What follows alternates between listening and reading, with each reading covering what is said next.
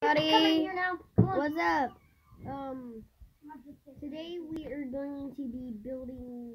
I don't know, but let's see if we can build an underground um house.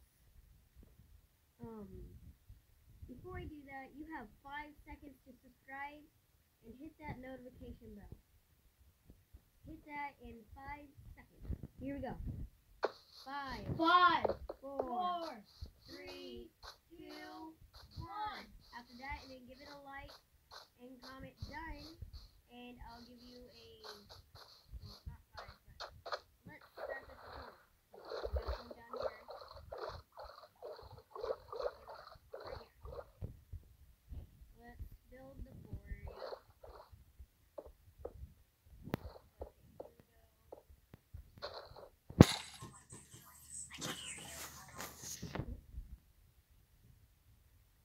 Okay, here we go. Say it already. Your thing's covered.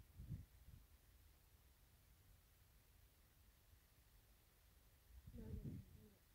Because people actually do give it a go. We have to do a couple videos. Okay, so let's finishing the model area, the aquarium house. Okay, so you need to build a floor. Doesn't matter what material you use. It just matters how big it is. Okay, so you're supposed to have um, one, two, three. Wait, hold on, let me mind this. I think I did it right. Yes, this is my style. It's not nobody else's. Oh, lovely. Well,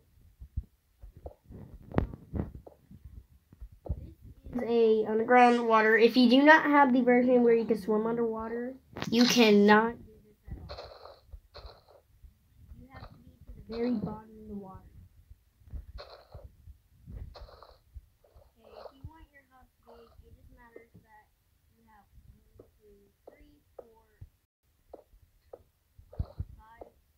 Seven, eight, nine, ten, and then nine across. One, two, nope. One, two, three, four, five, six, seven, eight, nine. Nine. And then nine across again. One, two, three, four, five, six, seven, eight, nine. Okay, so you should have a perfect looking square, you know. And the rest, um, just fill it in. Because the door is not going right here. So after that, you need to line everything that is in the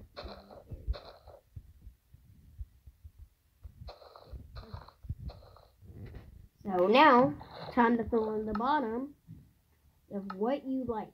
Okay. So let's see. Well, I'm just gonna stick with my brick because brick looks cool to me.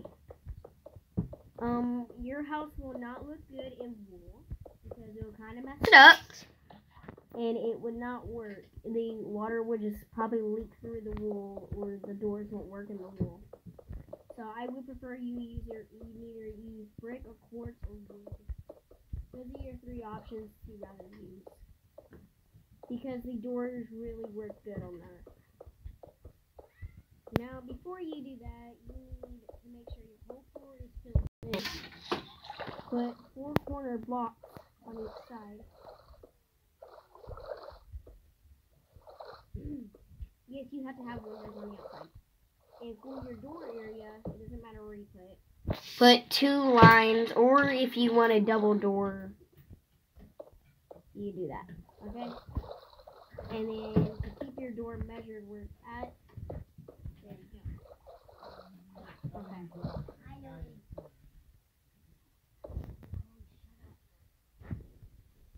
Okay. Let's see. So it doesn't matter how